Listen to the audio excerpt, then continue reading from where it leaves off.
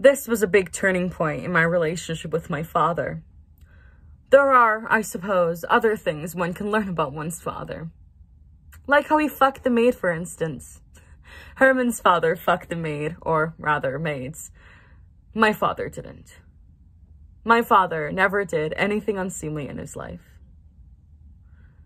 Except, of course, he conducted a series of experiments on Jewish prisoners at the Auschwitz between the summer of 1942 and the autumn of 1944. Injected them with typhus, for instance.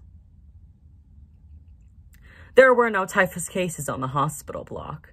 He wanted to study typhus. He injected four Dutch Jews with typhus. He operated on a series of women with minimal anesthetic and no surgical training, he removed their ovaries. This is all familiar enough to you, though, isn't it?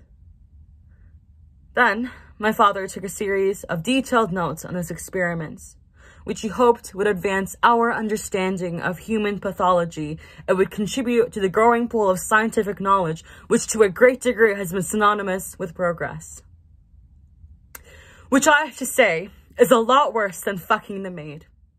It's so much worse than fucking the maid that it has revolutionized our notion of evil.